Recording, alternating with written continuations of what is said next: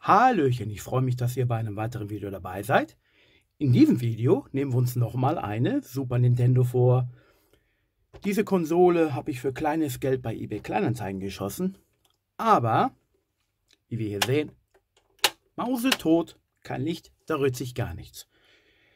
Ich habe da schon eine kleine Vermutung, wo der Fehler liegt. Und zwar, wir kriegen aus dem Netzteil 9 Volt Wechselspannung und diese Spannung wird hier auf dem Mainboard, ungefähr in diesem Bereich, gleichgerichtet. Dann nehmen wir die Konsole mal auseinander und schauen uns das Ganze mal näher an. Wie wir die Konsole zerlegen, haben wir im letzten Video schon mal gesehen, aber das mal so ein Schnelldurchlauf.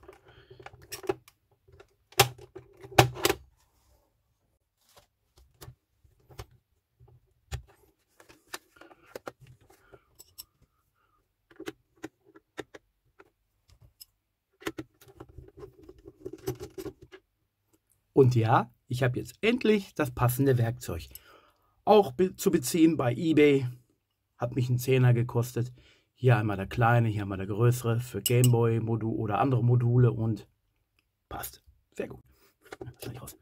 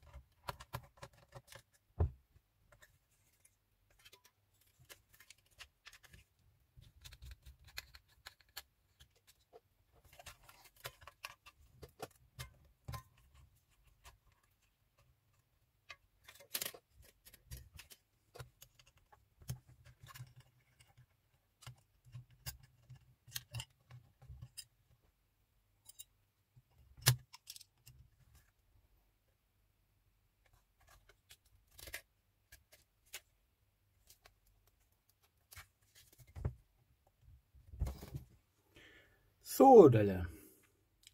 Ja, der Gleichrichter sitzt nicht hier, sondern da. Fokus. Wie wir hier sehen, ist hier einmal eine Sicherung, einmal der Spannungsregler, das ist ein 7805, der ist auch in der NES drin.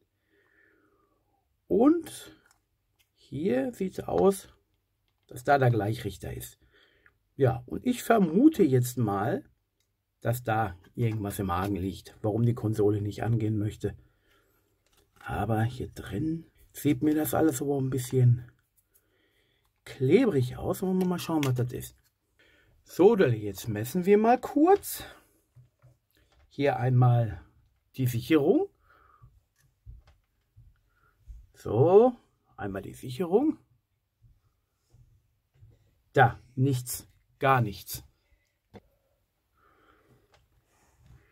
Normalerweise müsste das jetzt so piepen, tut es aber nicht. Sieht mir so aus, als wenn die Sicherung durch wäre. Dann werde ich jetzt mal die Sicherung brücken oder tauschen und dann mal gucken, ob die Konsole angeht. Ja, es hat normalerweise auch immer einen Grund, warum die Sicherung durchschießt. Es ist auch mit Vorsicht zu genießen, wenn man da einfach brückt und dann raucht da irgendwas anderes ab.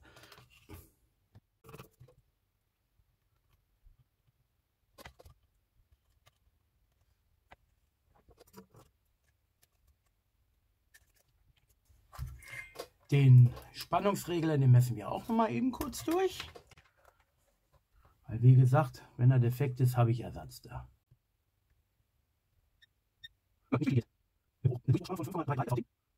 Ja, das haut hin.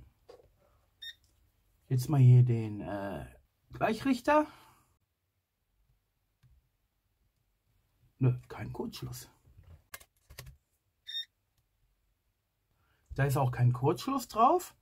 Dann könnte ich das mal vielleicht mal wagen, weil ich diese Teile hier nicht habe. Vielleicht mal mit einem Stück Draht brücken, aber da muss man sich sicher sein, ob hier ein Kurzschluss anliegt oder nicht, weil dann schaltet ihr die Konsole ein und dann brat, brat, brat, dann geht nur noch mehr kaputt. Also ganz, ganz piano. Ja, definitiv. Die Sicherung ist defekt. Das ist eine 1,5 Ampere Sicherung. Okay.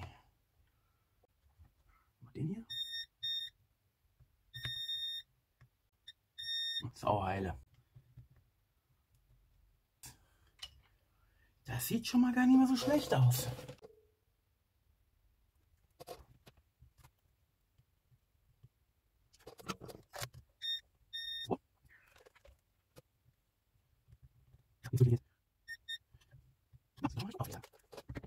Ich denke, ich könnte es mal auf diese Art und Weise riskieren.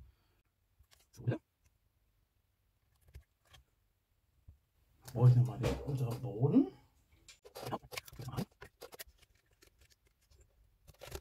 Ha, jetzt bin ich gespannt.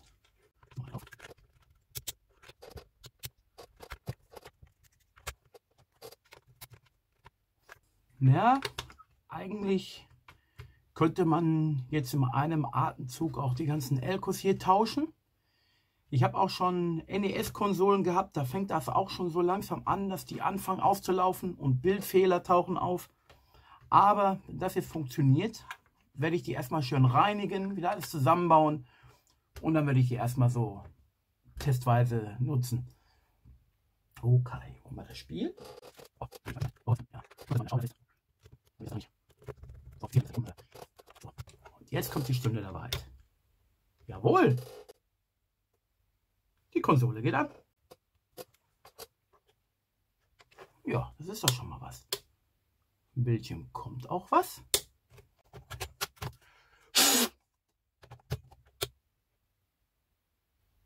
Ha! Die Konsole funktioniert, Freunde. Sie funktioniert. Ich zeige euch das mal. Damit ihr mir das auch glaubt. Ja, das war jetzt der Fehler gewesen. Nur eine defekte Sicherung. Schalten wir den nochmal ein. Ja, sehr gut.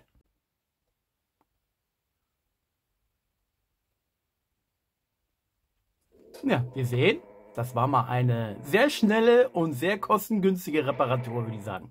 Aber ich werde jetzt aber zusehen, dass ich die dass ich die Sicherung, dass ich dann äh, was Vernünftiges einlöte. Nicht damit wir, wenn wir Probleme nochmal haben, dass dann hier irgendwas anderes abraucht.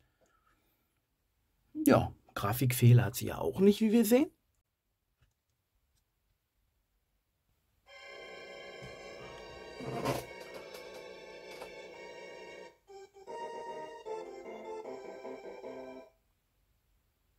Wunderbar. Da würde ich doch mal sagen, perfekter Mundo. ja. So, dann machen wir die Konsole jetzt mal richtig schön sauber. Bauen wieder alles soweit zusammen. Und dann muss ich mir noch mal die Sicherung besorgen, damit da auch wieder was Anständiges reinkommt. Und dann habe ich wieder eine schicke Super Nintendo Konsole. Ja, ich denke mal, in einem der nächsten Videos, ja, ich möchte jetzt auch mal ein paar mehr, ein paar Videos machen, nicht alle halbe Jahre, dass wir die mal ein bisschen bleichen, weil das Gehäuse, das sieht nämlich noch sehr, sehr gut aus. Dass wir die auch wieder richtig schick machen, dass die wieder schön grau ist. Okay, dann mache ich jetzt hier mal eine kleine Pause und besorge erstmal die Sicherung, dass wir die dann noch einlöten und dass wir die Konsole dann zusammenbauen und dann kommt der finale Funktionstest. Wie üblich. Okidoki, da sind wir mal wieder. Das hat jetzt eineinhalb Wochen, zwei Wochen gedauert. Ich habe mir neue Sicherungen hier bei AliExpress gekauft, weil bei eBay, da wollen die Unsummen für, so für eine Sicherung haben. Für die 1,5 Ampere. 4 Euro pro Stück. Ja, und hier habe ich für noch nicht mal 5 Euro gleich 10 Stück bekommen. Da kaufe ich die lieber aus China, warte ein paar Tage und dann passt das. Ist ja auch nicht die letzte Konsole, die wir wohl haben werden, wo die Sicherung hinüber ist. Oder hier ein paar andere Probleme. So. In der Zeit lief auch die Toyplosion. Dort sind wir gewesen. Petendo, Peter, die Kampfmaschine, Aslan, falls ihr das seht. Da habt ihr echt ein Mega-Event rausgehauen, aber vom aller, aller Feinsten. Also wir sind immer noch geflasht, mal. Das war richtig, richtig krass. Grüße gehen raus am DSD, den Gore-Minister. Das war so geil, euch mal zu treffen. Ich habe mir mal gehofft, ihr lauft uns mal in der Innenstadt über den Weg. Da wieder auch immer oft rumtouren, aber was nicht ist, kann ja noch werden. Dazu ein Pingelingeling und Prostata Tiralala. Und auch einen ganz speziellen Dank und Gruß an Judith und Thomas, der Star Wars Sammler. Hör mal, du bist so ein feiner Kerl, so ein lieber Mensch, hör mal. Es ist der Hammer. Das ist der Hammer. Auch ein YouTuber, unser Star Wars Sammler der ersten Stunde, angefangen mit einer Video 8 Kamera im Jahre 2007 oder 8 oder wann das war. Ich habe die Videos alle gesehen. Also hammer, hammermäßig. Ich freue mich schon beim nächsten Mal. Schade, dass Böblingen so weit weg ist. So, das einmal dazu. Boah, ich bin immer noch richtig geflecht und weggehauen davon. Da muss man, das muss man echt sagen. Ich ziehe den Hut von den ganzen Organisatoren davon. So, Delle. Dann löten wir jetzt mal die Sicherung ein, bauen die Konsole wieder zusammen und dann kommen wir zum finalen Funktionstest. So, Delle. Gehäuse habe ich soweit alles wieder sauber gemacht.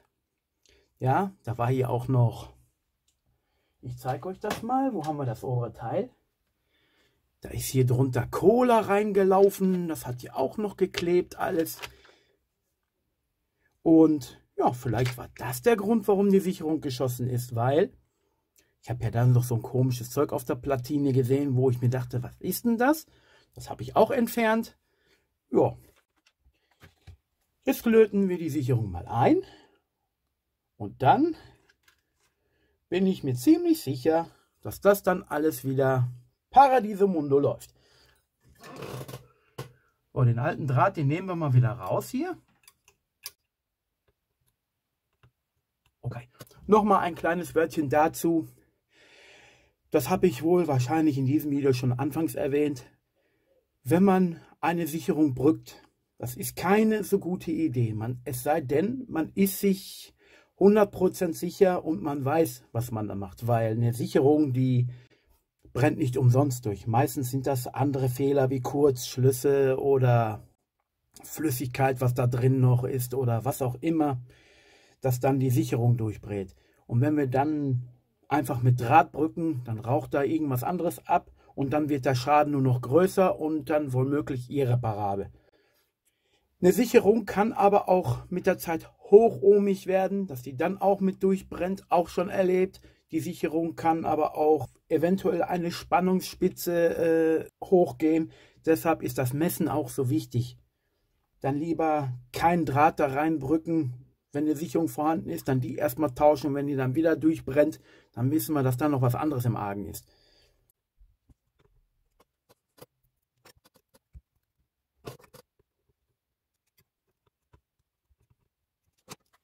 Okay, wo haben wir den Strom, damit ich das noch mal kurz antesten kann.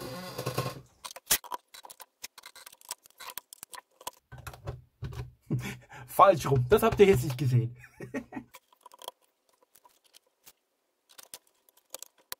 ja, das funktioniert. Das ist schon mal sehr gut. Natürlich die Klammer hier nicht vergessen. Da haben wir, wie auch in den vorherigen Videos schon erwähnt, hier auch eine Einkerbung. So. Und hier unten das untere Loch. Da muss er auch wieder eingespannt sein, weil sonst funktioniert die der Federmechanismus nicht richtig oder gar nicht. Ja, ist auch ein bisschen fummelig das Ganze.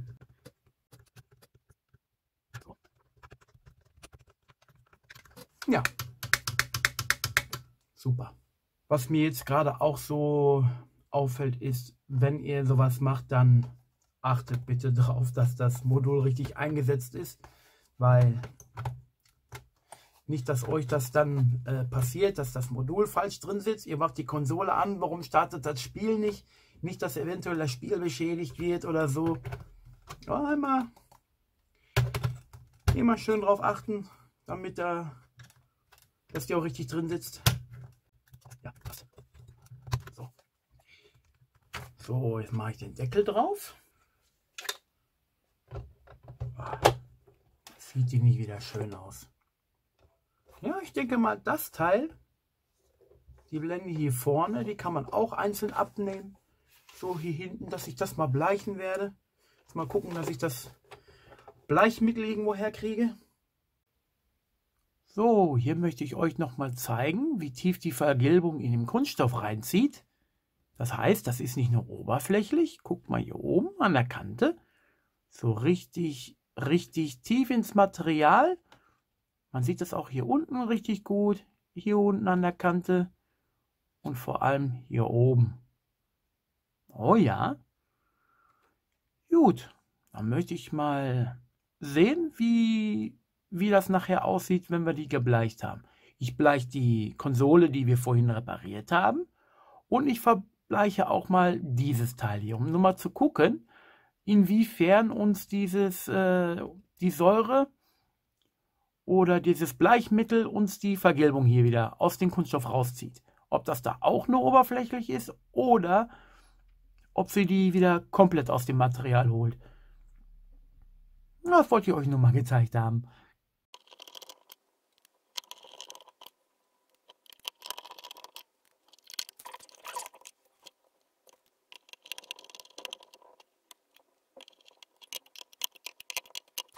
Natürlich ziehe ich jetzt die Schrauben nicht so feste, weil wenn ich jetzt richtig anknall, dann kann es sein, dass das Plastik bricht. Äh, mir ist das schon passiert, innen drin die Stege, da bin ich nur ganz leicht dran gekommen und dann hat das knapp gesagt und das war abgebrochen. Ganz schön pürös das Zeug. Jetzt kommt unser finaler Funktionstest. Eines meiner Lieblingsspiele. Was mir auch noch einfällt, Grüße gehen auch raus an die Trödelmama, an Nine. Hätte ich euch beide äh, irgendwo gesehen, ich habe auch Ausschau gehalten, hätte ich euch beide irgendwie gesehen, getroffen, hätte ich euch natürlich auch angesprochen und ein paar Aufnahmen gemacht. Ja, mein Video von der Toyplosion, das erste, war leider ohne Ton, aber der Klinkenstecker, der hat mir das Mikro ausgeschaltet. Ist ja auch nicht so schlimm, ich habe ein paar schöne Bilder, auch wenn sie ohne Ton sind, macht nichts.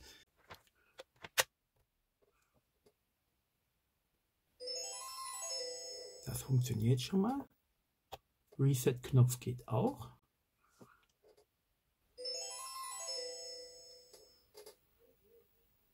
Ja, jetzt spielen wir mal eine Runde Parodius. Das ist auch das erste Spiel, was ich wirklich mal, das war 1995, komplett bei meinem Bruder Kizo, Kizo, äh, Grüße gehen raus, richtig durchgezockt habe auf so einen uralten Grundig. Das war auch Hammer. Okay, das war es auch schon in diesem Video. Wenn euch das Video gefallen hat, dann lasst mir gerne einen Daumen nach oben da und für ein kostenloses Abo würde ich mich riesig freuen. Dann sage ich mal bis zum nächsten Video.